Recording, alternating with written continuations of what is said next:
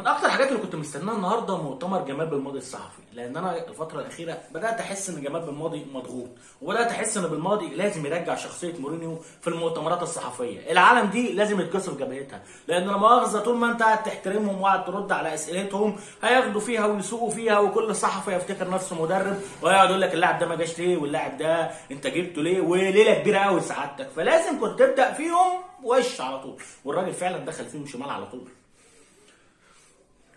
لا أريد أن يخبرني أحد أن هذا اللاعب يستحق. وفقا لوجهة نظرك الصحفي الذي ربما لم يتعرق أبدا لا ينظر بنفس النظرة التي أنظر بها. هل تعرف كيف تلعب كرة قدم؟ أنت ليس لديك اللياقة البدنية للاعب كرة قدم أو حتى الرياضي اللي تقول أنه يستحق التواجد. اللي هو بالصلاة على النبي. أنت عمرك لعبت كرة قبل كده؟ لا. يبقى ما تهبطش ما تقوليش اللعيب ده لازم يكون موجود. هو الراجل رسالته واضحة للصحفيين.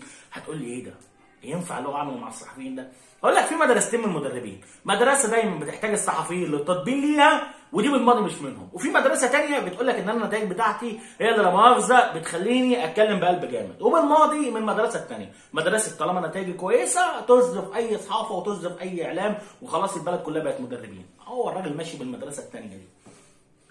إذا جاء أحد الصحفيين ومعاه الأرقام في آخر 35 مباراة لدينا وتحقيق سلسلة اللا هزيمة لمنتخبنا يمكننا حينها التحدث لكن لا تكرروا كلمات البعض الخبيثة عن المجموعة قبل مباراتين حاسمتين. كويس والله فعلا ما ينفعش إنك تكرر كل كلام وخلاص لمجرد إنك عايز تنتقد المدرب. هناك مشكلة في الجزائر نتحدث مع مديرين فنيين طوال الوقت والجميع يرى وجهات نظر مختلفة ودي اللي كنت بتكلم فيها من شهرين إن في ناس كتيرة نفسها تكون مكان جمال بالماضي في ناس كتيرة شايفة إن بالماضي مشيت معاه حظ واغلبهم مدربين واغلبهم لاعبين سابقين. فالناس دي طبيعة. طول ما انت هتسألهم هيقول لك وجهة نظر مختلفة. فبالماضي بيشتكي من الحتة دي بيشتكي من حتة إن أنتوا يعني ست المنتخب عمالة تيجي وكلها شوية انتقادات وخصوصا من بعد ما المنتخب ما طلع من كأس أفريقيا. أنا المدرب. وأتابع دايما حاله جميع اللاعبين والاختيارات تأتي للعديد من العوامل الذهنية والفنية. لا نتحدث لا تتحدث لا نتحدث باسم الجزائر تكلم باسمك. فقط. يعتقد البعض إن هناك لاعب يستحق ولا ولا آخر لا والآخر لا يستحق. لدينا فريق قوي ولا بد من الحفاظ على القوام الذي وضعناه منذ البداية. كلام محترم جدا جدا جدا. يبان من أوله إن هو هجوم على الصحفيين بس في النهاية قال لهم أنا معايا قوام فرقتي وأنا المدير الفني وأنا المسؤول عن اختياراتي. نفس الكلام اللي كنت بقوله امبارح إن ده حق أصيل للمدير الفني اختياراته. تتكلم معاه إمتى؟ في حالة ان تحصل نتائج سلبية. لو حصلت نتائج إيجابية لازم تذكر الراجل على اختياراته. انما مش كلنا هنقلب مديرين فنيين على حساب المنتخبات. وكمل جمال بالماضي وقال لهم على فكرة الموضوع بتاع القايمة أنا مش بعاقب أي حد. أنا شايف إن المجموعة دي هي اللي هتعرف تكسبنا الماتشين. لا أكتر ولا أقل من كده. أنا مش بعاقب أي حد أنا مستبعده. كل اللي أنا مستبعدهم قرارات فنية واللي أنا ضمتهم برضو قرارات فنية. محمد بنياتو قال لك عليه إن هو يمكنه تسجيل الأهداف وهذا هو نوع المهاجمين الذي نبحث عنه بالفريق. بنيته يستحق مكانة في المنتخب الوطني وهو يقدم أداء جيد في الدوري القطري. جديورا قدم قدم الكثير للمنتخب في السابق وهناك أسباب رياضية معينة لإعادة استدعائه في المباراه الفاصله طبعا الأسباب الرياضية دي هي النقص اللي كان موجود في لعيبة نص الملعب. يجب علينا تحقيق الفوز في أي ملعب في دواله أو في البليده المنتخب يبقى مفتوح دائما امام اللاعبين الذين لم يتم استدعائهم للمباراة الفاصلة. يعني الموضوع مش منتهي بالنسبة للعيبة اللي ما تمش استدعائهم. كل اللعيبة اللي ما تمش استدعائهم في فرص تانية إن شاء الله المعسكرات الجاية وفي فرص تانية في المباريات القادمة. يعني الراجل ما بيقفلش الباب بتاع المنتخب ضد أي لاعب. والراجل مش ما عندوش مشكلة شخصية مع اللعيبة ولا بيقول إن اللعيبة طالعين بسبب إن هم عندهم مشاكل انضباطية. لا هو الراجل مقرر إن أنا مستبعدهم بسبب وجهة نظر فنية بحتة. أنا محتاجهم الماتشين دول ولا لأ؟ هناك مسؤولين في الاتحادية كشفوا للصحافة عن اشياء لا ينبغي الكشف عنها حول المنتخب. آه هنا بقى نفس المشاكل اللي إحنا بنتكلم فيها في فترة. إن جمال بالماضي بيتحارب من جوه أكتر ما هو بيتحارب من بره. الاتحادية في مشكلة ما بينه وما بين الفاف واضح إن في مشكلة. لأن جمال بالماضي اتكلم على حاجات ما ينفعش إنها تتقال. وأعتقد الكلام ده كان على قائمة المنتخب لأن قائمة المنتخب كان في تسريبات كتيرة عليها وكان في كلام كتير على إن في مفاجأة هتحصل بمناسبة خط الهجوم. والكلام ده أنا سمعته قبل القائمه إن كان في كلام طالع إن في مفاجأة كبيرة بالماضي هيعملها في خط الهجوم. فدي شبه تسريبات بالنسبة لقائمة المنتخب. اللي هو بالماضي لو جه عندنا هيعمل إيه؟ ده إحنا بالصلاه على النبي. التسريبات قبل القائمة بأسبوع.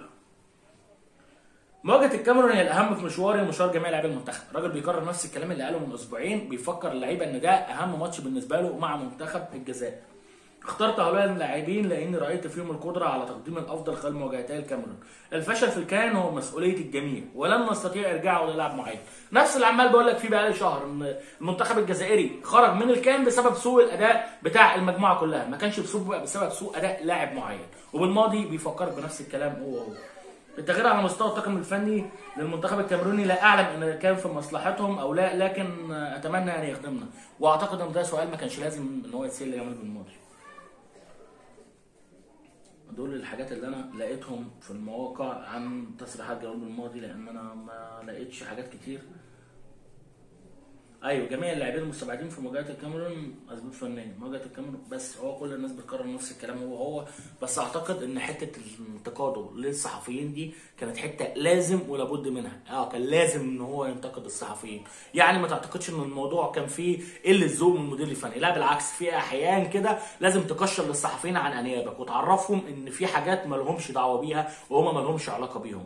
انتقدني كصحفي آه بس ما تجيش تقول لي إن أنا آخد لعيب ولا ما أخدش لعيب لأن دي مش بتاعتك. انت بتاعتك انك تقعد تكتب على الجرايد وبتاعتك انك تقعد تكتب على المواقع. انما مش بتاعتك خالص انك تقول لي خد مين ولا ما تاخدش مين. لازم كل واحد يعرف دوره فين وعامل إزاي. ما ينفعش انك تقول المدير الفني خد لعيب واستبعدت اللعيب ده ليه. هو بيطلع يرد لأن هو عايز يطلع يرد. انما لو ما طلعش رد فدي حاجة تتاح ليه ان هو ما يطلعش يرد. ودايما انت بتحاسب المدير الفني على إيه؟ على النتائج. النتائج بتاعته سلبية تبدأ تقطع فيه وتبدأ تطالب الاتحادية بتغييره. النتائج بتاعته إيجابية؟ يبقى تحط لسانك جوه بقك وما تطلعش تتكلم. ودي حاجة بتبقى مطلوب إنك تقعد تذكر بيها الصحفيين. لأن زي ما كنت بتكلم من إمبارح ان جمال بالماضي من بعد الخسارة في كأس الأمم الأفريقية وبعد خروج المنتخب الجزائري من الدور الأول في أبواق كتير بدأت تتفتح وفي ناس كتير بدأت تهاجم بالماضي والناس دي كانت بتخاف تجيب سيرة جمال بالماضي بالسلب. فلازم الناس دي ترجع تفتكر تاني مكانها ووضعها الطبيعي المؤتمر الصحفي أنا شايف إن هو موفق. تصريحات كان لازم تطلع تتقال حتى لو فيها حدة وحتى لو فيها هجوم على الجميع بس الكلام ده كان لازم يتقال. الناس اللي هتفضل حافظه على بالماضي هتفضل زي ما هي والصحفيين اللي هيفضلوا يهاجموا بالماضي هيفضلوا زي ما هم. أوعى تتوقع إن صعود الجزائر هيفرح ناس كتير برضه هيزعل ناس كتير صحفيين وإعلاميين ومديرين فنيين. الموضوع كبير واتكلمنا فيه قبل كده. بس لو عايز نتكلم فيه تاني اعمل لايك للقناة وللفيديو لو الفيديو عجبك. ما عجبكش الفيديو فعايز رأيي عن المؤتمر الصحفي والتصريحات اللي أنا شايف إن هي موفقة.